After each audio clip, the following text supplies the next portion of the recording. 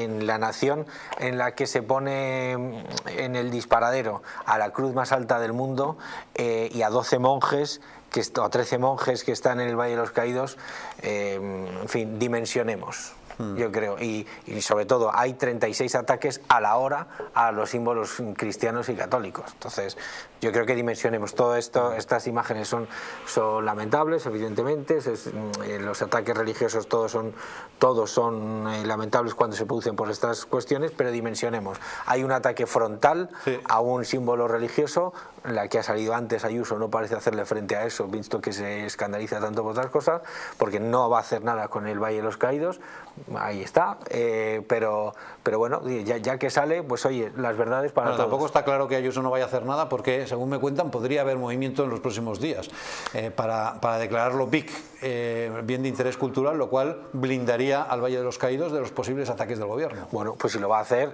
ya sabes algo tú, algo más que nosotros. De momento, si tuviera, si tuviera ocasión, Ayuso declararía BIC Silicon Valley y no el Valle de los Caídos, puesto que ha dicho que el valle que les interesaba era Silicon Valley y no el Valle de los Caídos y lo que le ve es que le gusta la fruta y el yogur de Clesa, pero no le parece gustarle la basílica del Valle de los Caídos. Lo siento mucho, a mí sí me gusta. Yo quiero que declare Vic el Valle de los Caídos, aunque no vaya a subir nunca.